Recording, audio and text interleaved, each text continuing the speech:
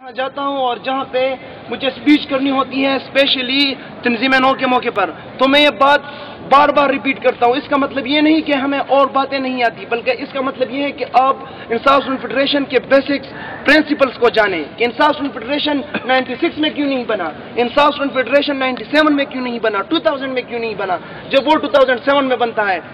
قائد تحریک امام انقلاب جناب عمران خان کے ذہن میں ایک بات تھی کہ اسٹوڈنٹس کا مقصد اسٹوڈنٹ یونین کا مقصد اسٹوڈنٹ فیڈریشن کا مقصد یہ نہیں کہ وہ طلبہ کے مسائل حل کرے۔ ان کا مقصد یہ نہیں کہ وہ طلبہ کے لیے لڑے، انصاف کے لیے لڑے، بلکہ طلبہ فیڈریشن کا مقصد تو یہ ہے کہ وہ پروفیسر حضرات کو تنگ کرے، وہ ایڈمنسٹریشن کو تنگ کرے، وہ لڑائی کرے، وہ تشدد کرے، وہ پستول نکالے، وہ خون ریزی کرے۔ ان کے ذہن میں یہ خاکہ چل رہا تھا اور یہ صحیح خاکہ تھا۔ کیونکہ جب میں گھر سے نکلتا تھا کالج کے لیے تو مجھے کہا جاتا تھا کہ بیٹا تم نے کبھی فیڈریشن کو جوائن نہیں کرنا۔ بیٹا تم نے کسی پارٹی کے ساتھ پارٹیسپیشن نہیں کرنی۔ کیونکہ میں نے تمہیں تعلیم کے لیے بھیجا ہے، میں نے تمہیں دہشت گردی کے لیے نہیں بھیجا۔ میں نے تمہیں کسی کے قتل و غارت کے لیے نہیں بھیجا بھیجا۔ میں نے تمہیں اساتذہ کی بےزتی کے لیے نہیں بھیجا۔ میں نے تمہیں ان کی توہین کے لیے نہیں بھیجا، بلکہ میں نے تمہیں اسٹڈی کے لیے بھیجا ہے۔ ہمارے ذہن میں بھی یہ خاکہ تھا۔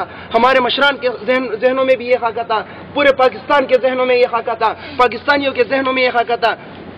بائیس نومبر ٹو تھاؤزینڈ سیون کو جب ایک مرد مجاہد انصاف فیڈریشن کے فاؤنڈر مراد سعید کڑے ہوئے، انہوں نے صوبائی قیادت کے ساتھ بات کی، پھر مرکزی قیادت کے ساتھ بات کی اور انہوں نے ایک سٹرکچر دیا، ایک موٹو دیا کہ خان صاحب ہم فیڈریشن بنائیں گے، لیکن اس موٹو کے اندر ہم کام کریں گے۔ وہ موٹو کیا تھا؟ وہ موٹو جسٹس نالج اور ٹالرنس تھا۔ پھر اس کے ساتھ ایک نعرہ بلند کیا کہ محبت فاتح عالم، اس دنیا کو ہم فتح کریں گے۔ دہشت گردی سے نہیں، فساد سے نہیں، تشدد سے نہیں، بلکہ محبت سے ہم فتح کریں گے۔ اور آج چار سال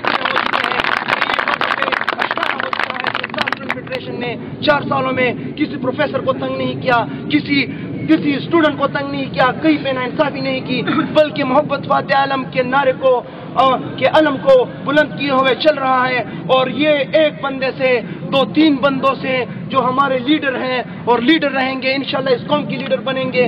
اب خان صاحب کی بات ہے کہ ایک سونامی بن چکی ہے اب ایک یونیورسٹی میں ہمارے اتنے لوگ ہیں جو لوگ غائب ہو چکے ہیں کہ ان کو ہم کیسے ڈاؤن کریں؟ ان لوگوں سے سیاست وہ لوگ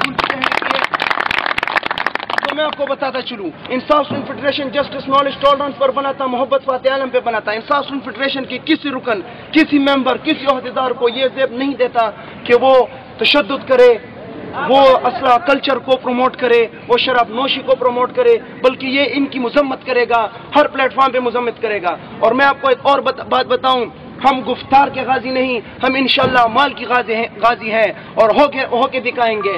ہر بندہ ہر انسان فیڈریشن کا ذات ہی ذات میں